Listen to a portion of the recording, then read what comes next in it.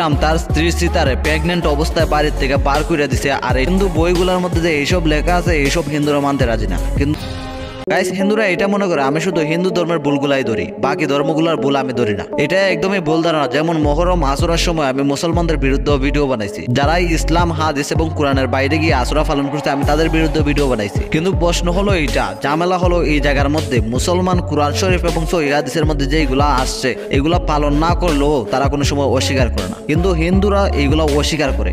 এই জন্যই তো খারাপ লাগে। যেমন ধরেন বাল্মীকি রামায়ণের মধ্যে এইটা আছে, শ্রীরাম তার ভাই লক্ষ্মণ রে তার সৈন্য দিয়া মারাইছে। আর এটা একটা ভুল ছিল, কিন্তু হিন্দুরা এটা মানতে রাজি না। শ্রীরাম তার স্ত্রী সীতারে প্রেগনেন্ট অবস্থায় বাড়ির থেকে বার করে দিছে, আর এটা একটা ভুল ছিল, এটা হিন্দুরা কোনো সময় মানতে রাজি না। আর সীতার দোষ কি ছিল, রাবণ তারে উঠে নিয়ে রাবণের আড্ডাতে দশ মাস রাইখে দিছিল। শ্রীরাম ব্রাহ্মণদের কথায় এক শূদ্রা নিচু জাতির, যার নাম সম্ভুক ছিল, ওই ঋষিরে গলা খাইটটা হত্যা করছে।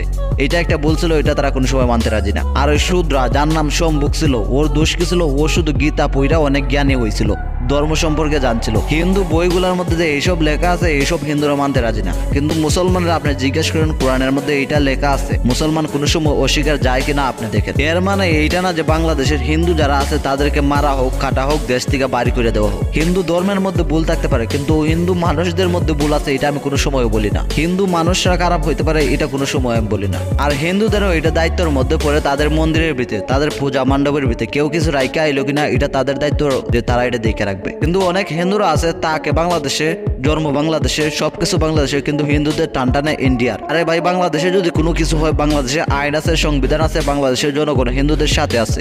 দশম শ্রেণীতে পড়া এক হিন্দু মেয়ের যখন দর্শন হয়েছে, নাম কি তার যেন শান্তারানী নাকি সরি আমি জানি না বুঝলে গেছি। ওর বিচারের দাবিতে মুসলমানরা মানববন্ধন করে নাই।